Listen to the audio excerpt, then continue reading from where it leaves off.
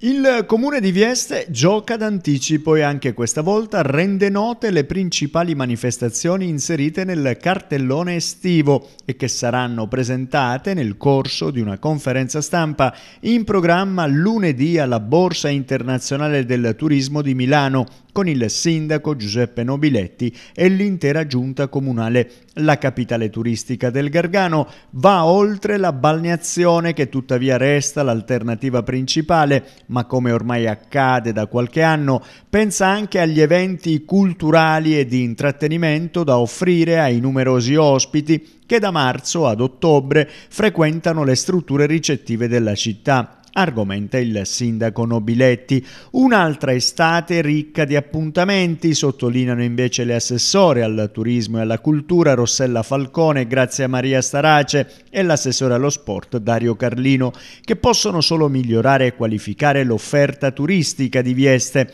sempre più punto di riferimento per una vacanza di qualità che va oltre il mare. Diverse sono le iniziative che animeranno la prossima stagione estiva. Prima dell'estate c'è però il falò di San Giuseppe, poi spazio al triathlon olimpico, un appuntamento ai principi di giugno atteso da tanti sportivi provenienti da ogni parte d'Italia. Sempre a giugno a Vieste sbarcheranno le eccellenze del mondo enologico per l'iniziativa Vieste in Rose, spazio anche al cinema con il grande Festival internazionale di archeologia, arte e ambiente e poi ancora la rassegna di luglio del libro Possibile, preceduta dall'arrivo a Vieste di Massimo Recalcati, psicoanalista tra i più noti in Italia. Il festival musicale Cristalda e Pizzomunno Porto Rubino con il viaggio in mare all'insegna dei racconti e della sostenibilità ambientale, Festa Ambiente Sud,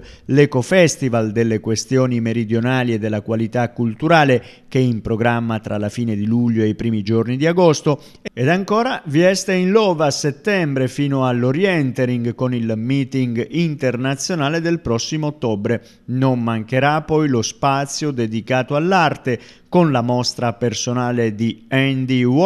e quella di Oliviero Toscani.